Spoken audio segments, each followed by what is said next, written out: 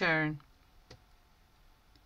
She was not your enemy, not if you had thought about it for longer than a minute, or had lifted your eyes from the sites online, where every word is a knife in some soul's back, or worse. She was not your enemy.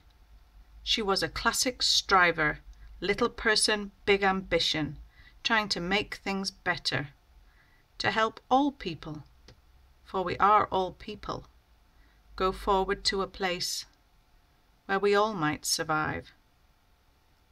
She was not your enemy, and even before you set off down that hill, you were jailed already in a past that never was locked into a greatness that was simply not great, not for most of us.